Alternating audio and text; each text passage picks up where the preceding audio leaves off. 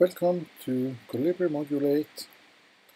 This again, this part is about software as a service and its pricing.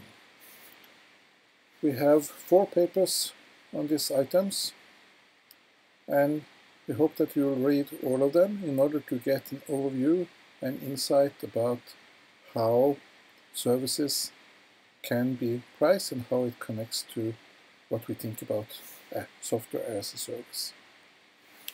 First paper is about specific um, software as a service from Wikipedia, um, thinking about the licensing and delivery model, often referred to as on-demand service.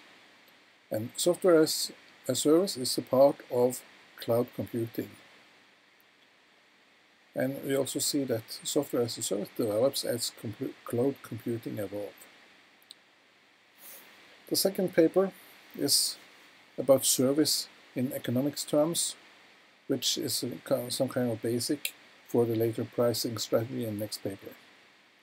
Service is in general term as an intangible commodity, meaning that it's not a product that we can hold in our hand, it's unique and it's one time. Service delivery has six factors. Service provider, the people, equipment used to provide it, the physical facilities used, the requesting consumer, other customers, and the customer contact. And we see that services often provided integrated with some items or goods. Third paper about pricing strategies. And it's a Wikipedia paper once again, a variety of pricing strategies when you sell a pro product or a service. This paper lists a complete of 23 different pricing models, which all of them might be an option when you think about how do we price the software and its services when we're going to develop and deliver something. Uh, the paper also lists nine laws of price sensitivity and consumer psychology, and all of these is something that you should consider in order to select the best pricing model for your product. The reference price effect is one, difficult comparison effect, switching cost, price quality, expenditure, and benefit, shared cost, fairness, and framing. So that will be a consumer psychology issue which you should consider when selecting the price model.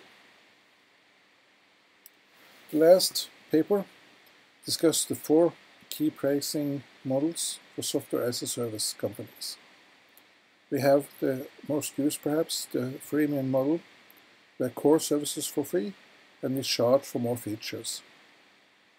Alternative 2, capacity-based freemium, where something is free up to a threshold. We have the feature-based freemium with some locked features.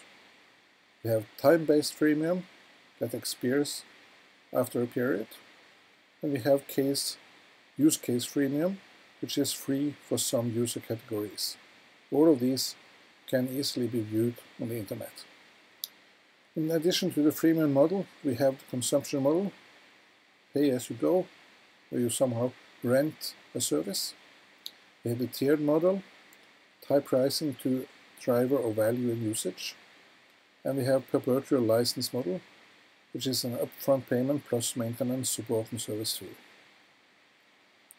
The paper, in addition, have a decision framework for selecting the pricing model divided into six steps. So, please read the papers to be prepared and then you can continue with the quiz from this module. Thank you.